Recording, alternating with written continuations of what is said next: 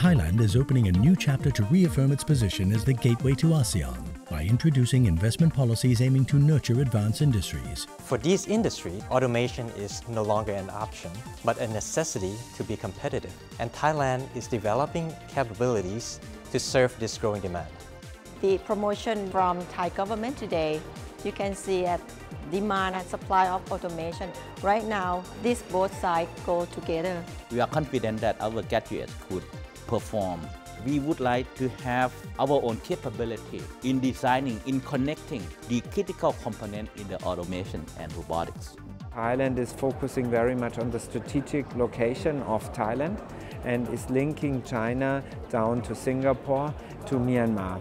And this logistical knot will play a key industrial role. Opportunity Thailand. Be a part of it.